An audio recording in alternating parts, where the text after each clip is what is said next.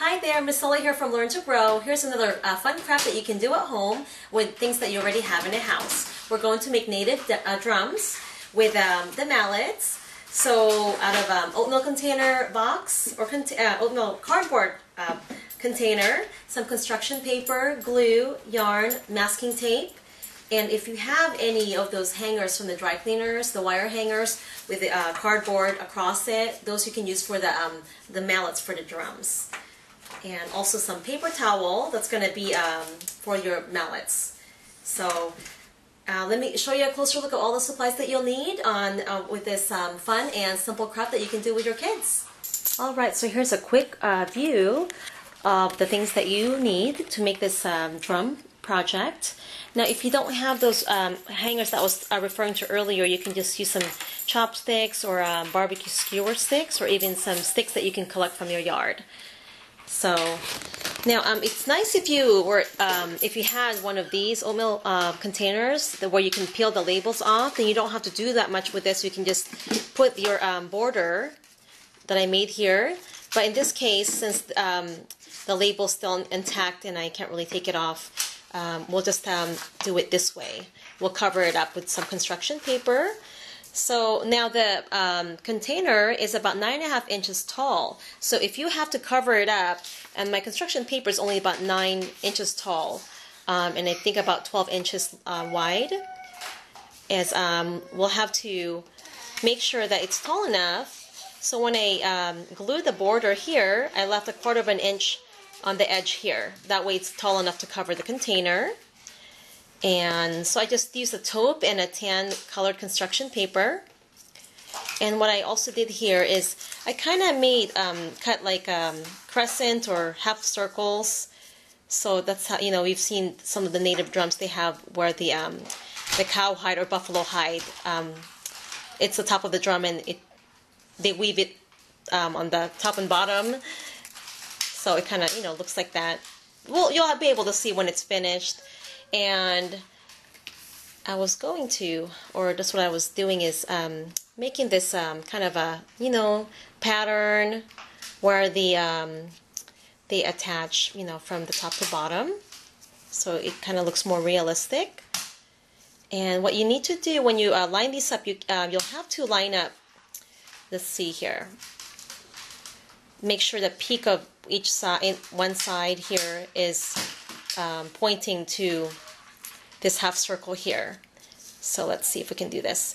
So you just uh, glue this together. You make your triangular pattern there. So the lens case is on the way. So like that. So you just glue that. And then you do, do this again, just like that. And now if you do have this container here already, you can just uh, glue the, this um, pattern directly on the box since, you know, you, that'll save you one extra step. It's already brown. So let's get on. Um, let me show you how um, we're going to put this all together. All right, let's get started. So um, one more thing I forgot to mention is the oatmeal, the circumference around this oatmeal uh, container box um, is about six and a half inches around. So just make sure you have enough construction paper to go around. So mine is only 12 inches, so made a, another um, set here, which is about um, three quarters of this one to wrap around the oatmeal box. So you're going to grab your uh, masking tape. This is going to go on top of the drum. So you'll just pretty much uh, whoops, put the masking tape across back and forth until you have the top covered. So, so far it looks like that. But we'll keep going until all the holes are sealed and the top will be uh, firm. And you keep it careful. This has got his Nerf gun.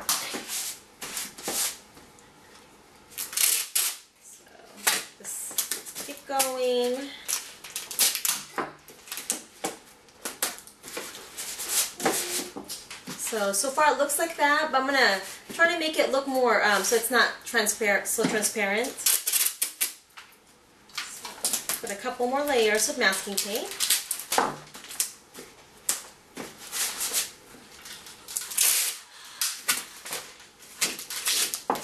This is another um, great Thanksgiving project.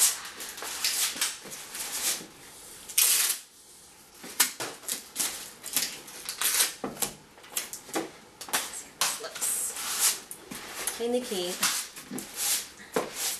All right, maybe one more.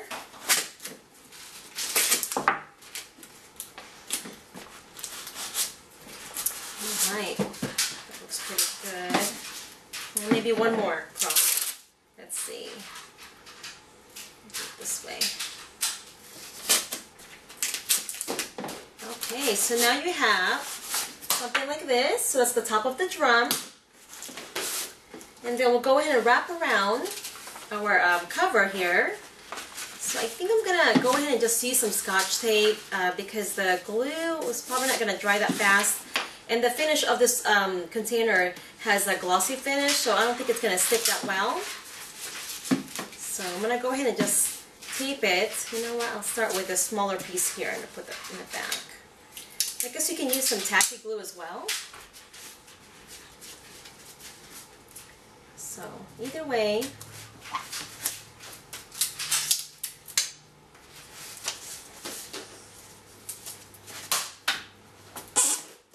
you know what, and I guess I, I use the double-sided tape, so that's even better when I put the, um, the other layer of the cover, so it'll appear together. All right, oops. So there's that, and the, there's still purple in there. There's I used the purple glue stick that dries clear, but that one's still a little wet. And then we'll do our second layer. And you know, I'll go ahead and put some tape in the middle here so it stays on.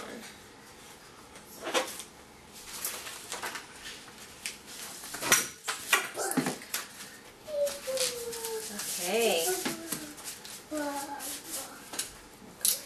Put some more tape.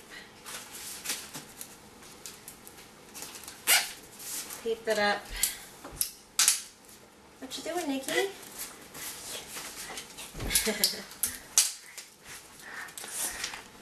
oh, Pinocchies. Maybe one more tape. All right. Okay. So now we have our drum. So, pretty simple. Now we're going to move on to the drumstick. Alright, so the next step is the drum, um, the mallets, or, or drumstick. So what you'll need is your cardboard tube from that um, wire hanger from your cleaners and a couple of paper towels that you'll be folding into, let's see, probably into 1 8 size, okay, just like that. And you'll fold it over this tube, just like this, and you'll secure it with your masking tape. So that way you kind of have this, um, you know, oval shape end. We'll just, we'll just wrap it around with the masking tape and we'll go um, around and up and down too so it's, it's secure on the um, cardboard stick here. So we'll do it. And we'll do it this way. Maybe one more. We're just kind of wrapping it around the paper towel and you just press it so it's all secured onto the stick there so that way the paper towel doesn't fly off. So that looks about, it's pretty good. Just kind of, you know, squish it together. And last thing you do is um, just grab a probably four inches of yarn, just tie it around at the base of the uh, the top here. Just double knot it. And you are all set. Make it a little shorter. Alright, so there you go. You've got your oatmeal container drum and mallet and the kids are all set to play. So simple um, craft that you can do together and um, it's a fun project. Well, I hope you enjoyed this episode of Learn to Grow. Again, my name is Misilla. Thanks for watching, and please don't forget to subscribe to our channel, and we'll see you soon. Have a great day. Bye-bye. So Nikki found a little place to play the drums.